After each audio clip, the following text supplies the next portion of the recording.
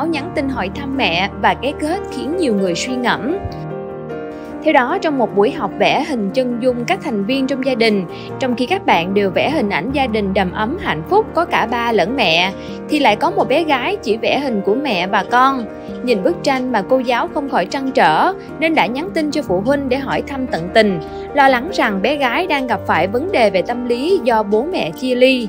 Thế nhưng cô giáo càng lo lắng hơn khi nhận được câu trả lời từ người mẹ. Bé không những đang có một gia đình đầm ấm mà còn khá đầy đủ về vật chất do bố dành hầu hết thời gian trong ngày để lo cho kinh tế gia đình, còn mẹ thì chọn việc nhẹ nhàng bên ngoài để có thể tập trung quán xuyến mọi việc lớn nhỏ trong nhà. Chính vì chỉ mãi mê chạy theo công việc và kiếm tiền nên người ba đã sao lãng trong việc chơi cùng với con hàng ngày, xây dựng và vun vén tình cảm cha con mỗi ngày một chút ít, khiến cho khoảng cách của ba và con mỗi ngày một lớn dần ra. Thậm chí bé gái quên hẳn đi việc bản thân cũng có một người ba trên cuộc đời này. Người mẹ sau khi chia sẻ đoạn tin nhắn và lời góp ý chân thành của cô giáo đã chia sẻ thêm Trước giờ luôn nghĩ con mình vẫn ở đó thì mình gần gũi lúc nào cũng được. Thế mà không phải vậy, việc nuôi dạy con cái là cả một quá trình cần sự vun đắp và gắn kết mật thiết giữa bố mẹ và con cái bằng những khoảng thời gian chất lượng, bố mẹ và con cái được tương tác, trò chuyện, chia sẻ suy nghĩ, cảm xúc, mong muốn.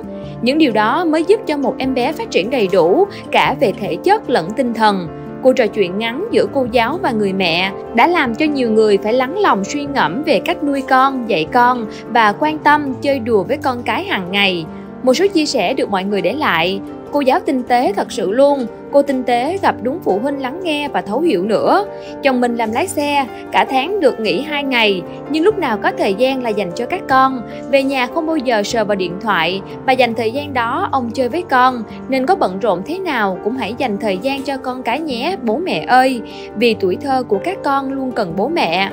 Đây mới là cái tâm của người làm sư phạm nè, từng câu chữ đều tình cảm và khéo léo, phụ huynh này đã chọn đúng giáo viên cho con rồi.